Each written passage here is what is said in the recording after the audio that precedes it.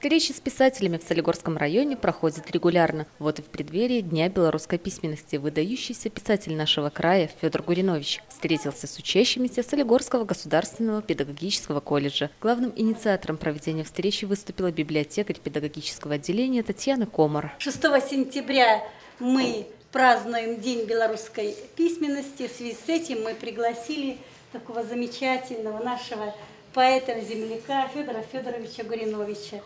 И э, я очень рада, что наши учащиеся познакомились с новыми его сборниками. Я хочу даже показать вам, посмотрите, какое замечательное полиграфическое оформление.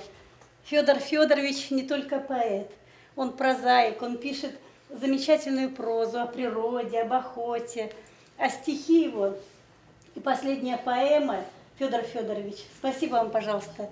Спасибо вам за нее. И вы читали нам Подпишу стихи, подпишите. Я знаю, он надарил нашей библиотеке много книг, лично мне и библиотеке. Спасибо большое.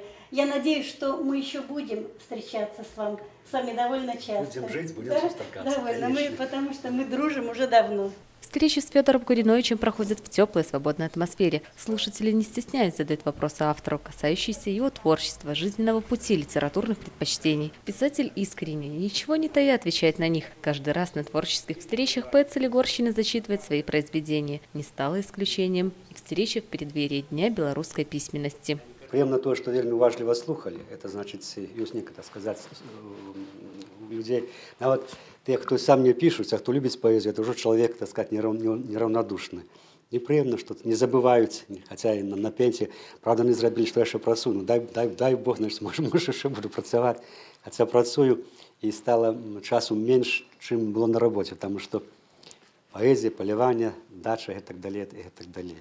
Я думаю, што у дзяцей ну нават іх уже не назовеш дзецьмі нужно так сказаць паўдарослыя што дзяцей больш больш шчырасці яны бываюць такія такія пытанні зададуць асабліва там класыкі шоста пята такой выкапай што разгубіш што што ж ім адказваць яны кажуць вось вы паляўнічы раптам пра прыроду піш як жа вы можете так прыгожа пісаць пра прыроду той жа час забіваць так ну не забіваюць людзей забіваюцца звера здабываюць ну, и так далее. Поэтому дзіцячую літургію больш больш шчырасць непасрэднасці.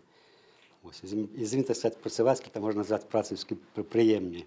І калі некае твоё слово застанецца ў іх душы, некая некая дабрня, то а табе ад гэта так сказаць толькі плюс, значыць, не прайшла гэта э, дарэмна сустрэча і тое, што ты сказаць крэмзаеш, ты пішаш, таксама не праходзіць дарма.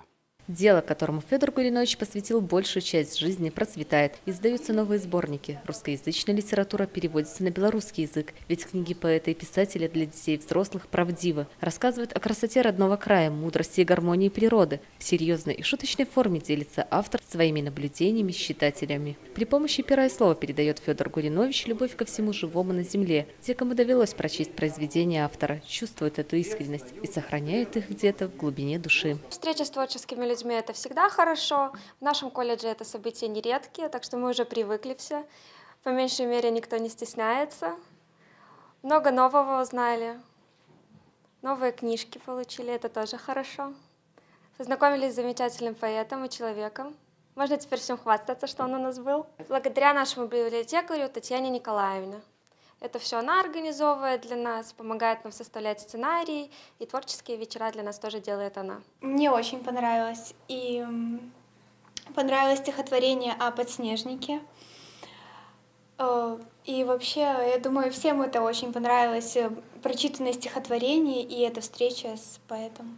Встречи с творческими деятелями не проходят напрасно, ведь в ходе беседы с успешными людьми раскрываются новые грани тех или иных событий, появляется возможность взглянуть на привычные вещи под иным углом, расширяется кругозор и на душе становится чуточку теплее.